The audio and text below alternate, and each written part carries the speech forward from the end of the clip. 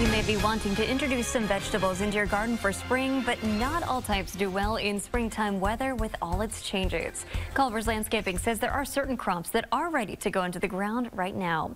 KCRG TV9 meteorologist Jan Ryherd spoke with them about their recommendations. I'm here at Culver's Greenhouse, joined by Bob and Joan. Today we are talking about getting some vegetables going out in your vegetable garden already. Yeah, well, Easter came, yep. so for a lot of you guys who follow the rules, have to plant your potatoes by Good Friday. Maybe you got that done, maybe you don't, but you still you can still get that done. But we really thought we would showcase some of the cool weather crops that are safe to go out in the gardens now and to get started with. And we just pulled a few of I think some of our favorites. Right. And I think onions is a great place to start. All right, let's talk. So we have uh, three different varieties of onions onions we grow. Here we have candy, we have Walla Walla, and then we have red. Now, the, if you've never grown candy onions before, you need to because they're huge, they're sweet, and fairly good keepers. Now, the Walla Walla keep a little bit longer. We also have leek here mm -hmm. uh, for some of you maybe more gourmet. Uh, cooks out there. Mm -hmm. Little labor intensive growing them, but excellent flavor.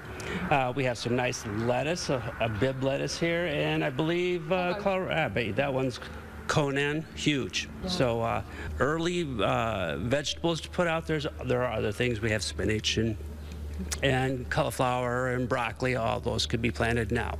All right, so lots of lots of veggies that we can get going already. Yeah, and you know we know that it's not time for those tropicals. We know it's not time for the tomatoes and the peppers and those kind of things. But we know that the cool weather crops are ready to go. And why not get your first crop of lettuce in and out of the garden? You know you can turn that over, get your onions going. Um, it's just a great way to get things set and get started being outside and enjoying the the weather for the end of April and get your garden producing. Yeah, mm -hmm. absolutely. And I think, I mean, personally for me, having lettuce going in my garden, having that fresh it's yeah. so, so, much better than that, that bag that's going to go bad in your fridge, yeah, right? The flavor is so much more intense, too, with things that are grown right in the ground. Wonderful. And it's designed, you know, these crops are ready to go in the ground right now. We're not true, we're not trying to trick Mother Nature or anything right now.